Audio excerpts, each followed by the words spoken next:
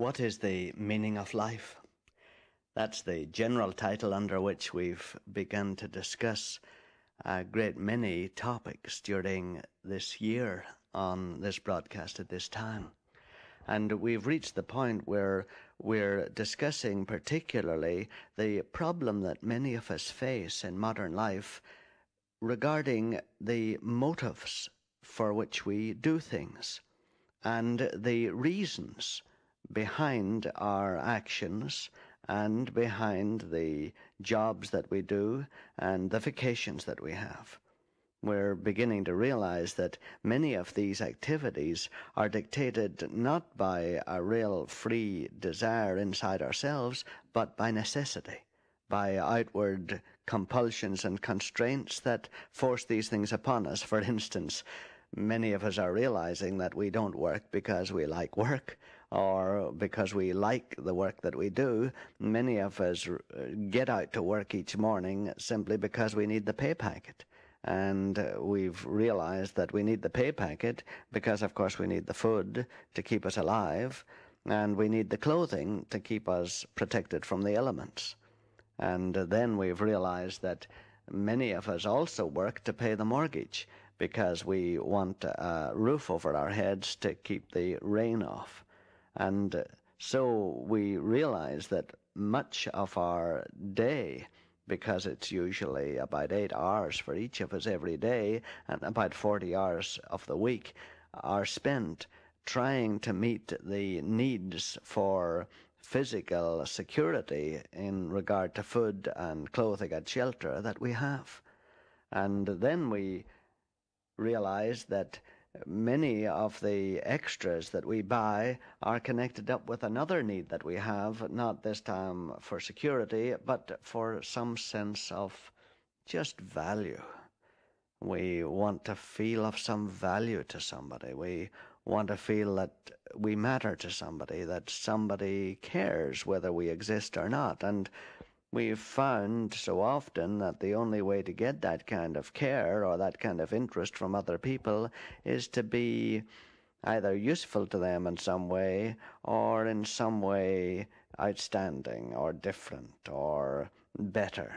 And so we have realized that often we buy the nice car or the nice house not so much because we really think we should buy it, but because it'll perhaps gain us some prestige or some value or send some sense of esteem so that we stand out a little from the crowd and at least are noticed by the rest of the people in the world.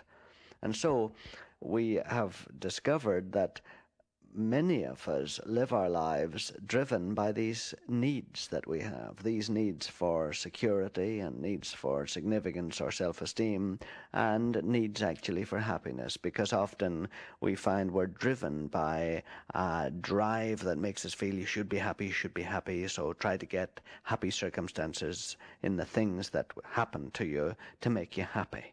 And so we study how to have a nice vacation that supposedly makes us happy, or how to get uh, exciting weekends that will make us happy. But uh, all the time, we're becoming driven people. And many of us have realized that we have become like little puppets or marionettes that are pulled by strings mm, of uh, through the that are in the hands of other people. We realize that we do things to please our teacher, to please our professor, to please our parents, to please our boss, to please our wife, to please our children, to please our peers, and we're always trying to please people, or we're afraid of displeasing people, and we do things because of fear of our teachers, fear of our professors, fear of our parents, fear of our wives, fear of our children, fear of our peers. And so we find that we are driven men and women and do not actually act freely from inside. We remember vaguely a time in our lives when we were children when we used to be actual people, when we had a, an attitude or a spirit inside us that was free. We would think of ourselves as free spirits and individualists, and we had little ideas of things that we would do in life or things that we would be. And many of us remember those vaguely, those days. But it's a bit like Shakespeare, like Wordsworth said in his poem, uh, Heaven lies about us in our infancy. At length the man perceives it die away and fade into the light of common day. And uh, most of us have come to the point in later years where we doubt if there's anybody inside us at all.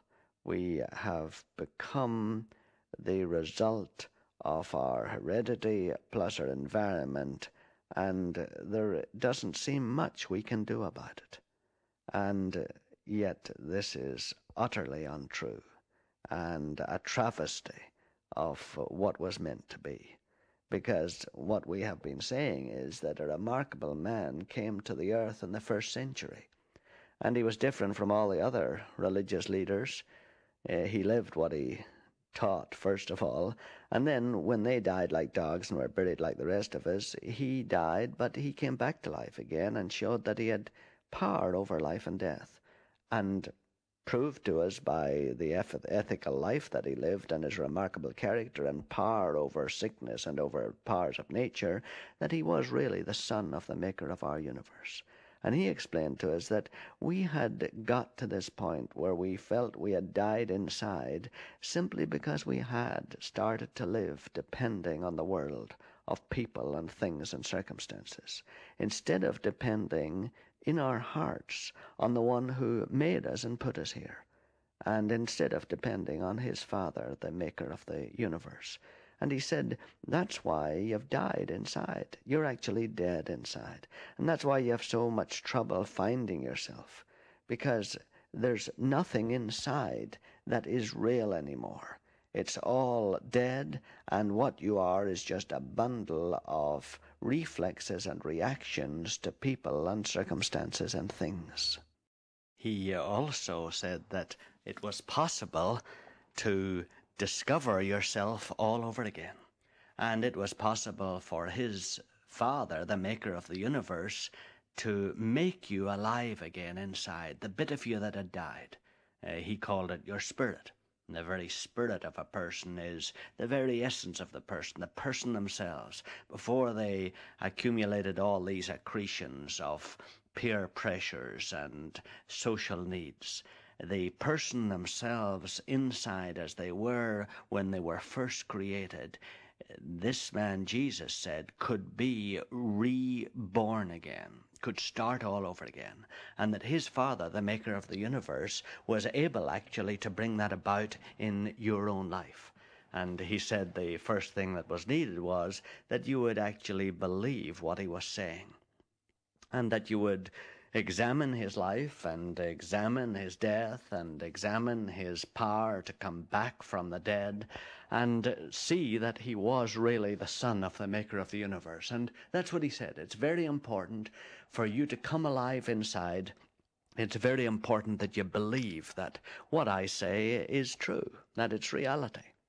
And obviously that's the case. I mean, if this is going to become true in your life or become real in you, then uh, it's there's no possibility of it unless you yourself believe it. Obviously, if you think this is just a lot of religious stuff, you'll just turn it off immediately and nothing more will happen. The first step is to believe that these things are true. So I do ask you to examine them and analyze them and think about them. And please don't just in a blind kind of non-intellectual, obscurantist way uh, lay the stuff aside as stupid. Please do examine it and be intellectual about it. Don't be a miserable fundamentalist in the sense that you just believe what you believe and you won't examine anything new at all.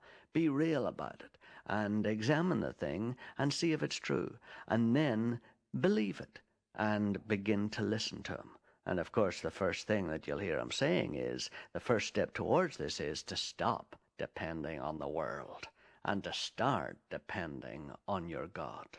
That's the first step towards the maker of the universe beginning to make you come alive inside so that you can at last find out who you are and begin to live the magnificent, original, creative life that you were intended to and that what you once dreamed